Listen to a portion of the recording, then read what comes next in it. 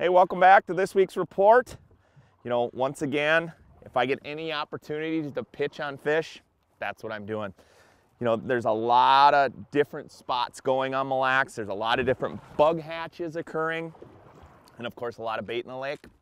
And having said that, you know, especially on the days where it's calm or not a lot of wind, I've been pitching baits on fish and catching a lot of fish, putting a lot of walleyes in the boat by using either Jigging Raps or impulse plastics. Look at that, Jigging Rap right in the mouth. Not a bad walleye to start the day. You know, we're about five minutes into our trip here and we've already got fish on. I love fishing different techniques throughout the season, but this is probably one of my favorite, either impulse plastics or pitch and Jigging Raps. So these things work great, like I said, uh, whether you're pitching on fish or schools of fish. Uh, today we're just simply back trolling. You know, same principles apply as far as driving around, looking for fish first, and then I'm just simply backing over them. We got a little bit of a chop today, not a lot of wind, but I'm just simply back trolling along the edges, pitching and working it back to the boat. I've got the people in the front of the boat just kind of pitching out the front and then just working it back. Extremely effective.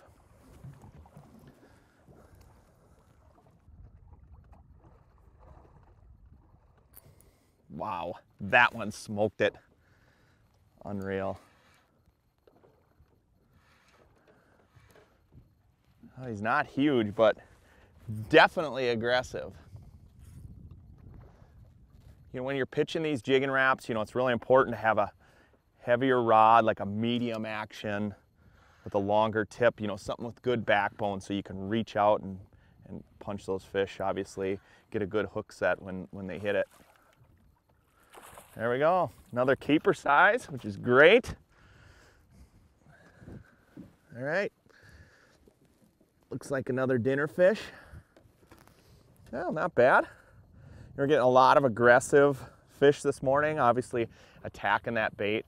However, you know, if we were out here just moving live bait around, whether it be on rigs or either even underneath corks. I don't think there's enough wind that we'd actually put a lot of fish in the boat, but we're having a lot of fun this morning, putting a lot of fish in the boat because it is that reactionary bite and pitching those jigs with those Jigging Raps. And of course, you know, it's a lot of fun. So happy 4th of July to everybody. Hopefully everybody have a safe and happy 4th of July. If you're coming up to Mille Lacs Lake, definitely tie on a Jigging Rap, even an impulse plastic. You're gonna trigger a lot more fish and put a lot more walleyes in the boat. Until next week, I'm Tony Roach.